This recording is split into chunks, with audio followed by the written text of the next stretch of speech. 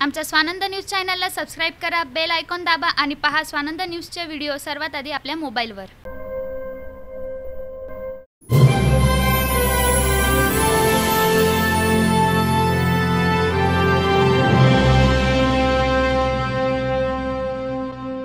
आज आलेल्या अहवालानुसार बदलापूरमधील बत्तीस रहिवाशांची करोना चाचणी ही पॉझिटिव्ह आली आहे.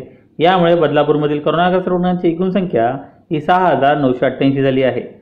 आज पॉझिटिव्ह आलेल्या रुग्णांमध्ये बदलापूरमधील कर्जत रोड येथील मातृसिद्धी सोसायटीमधील दोन रहिवाशांची कात्रप येथील गोकुदाम प्राईममधील एका रहिवाशाची कात्रप येथील ओम गुरु आशिषमधील एका रहिवाशाची स्नेहप्रसाद सोसायटीमधील एका रहिवाशाची कात्रप येथील टुलिपमधील एका रहिवाशाची अमरनाथ रोड येथील गुरुसाई अपार्टमेंटमधील दोन रहिवाशांची कात्रप येथील ओम स्वामी कृपामधील एका रहिवाशाची बोरोडपाडा रोड येथील मोतीराम ग्रीन्समधील एका रहिवाशाची शिवाजी चौक येथील गौतम अपार्टमेंटमधील एका रहिवाशाची वाणीआळी येथील जय हरिओम कृपामधील एका रहिवाशाची कात्रप शाळेजवळील श्रीजी निर्वाणामधील एका रहिवाशाची मांजरली येथील संगीता निवासमधील तीन रहिवाशांची मांजरली येथील वर्धा अपार्टमेंटमधील एका रहिवाशाची गणेशघाट येथील तुळशी अंगण सोसायटीमधील एका रहिवाशाची बेलवली येथील रतन गॅलेक्सीमधील एका रहिवाशाची हेंद्रेपाडा येथील मोहन तुलसी विहारमधील एका रहिवाशाची सरस्वती नगर येथील साहित्य सावरकर सदनिका येथील एका रहिवाशाची हेंद्रेपाडा येथील भारतापट्टणमधील एका रहिवाशाची गावदेवी रोड येथील आत्माराम नगरमधील एका रहिवाशाची खरवई गाव येथील पनवेलकर संकुलमधील एका रहिवाशाची शिरगाव येथील कृष्णानयन कॉम्प्लेक्समधील दोन रहिवाशांची बेलवली येथील हरिओम प्लाझामधील एका रहिवाशाची